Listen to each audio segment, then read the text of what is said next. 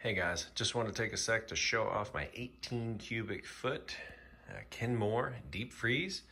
We've got a key for the lock, so that can be locked.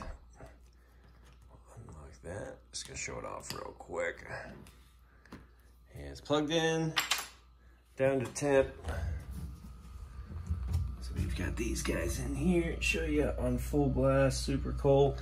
Now around the edges down there, what we had happen was this was plugged into an outlet strip. My two-year-old turned that outlet strip off. The only thing in there though was a few bags of blueberries and strawberries. So there was some uh, blue everywhere and I got in there best I could with the magic eraser and got rid of all of it except for around the edges. So that's all that is, a little discoloration. If you want to get in there and scrub out all the corners with a magic eraser, it should come clean for you.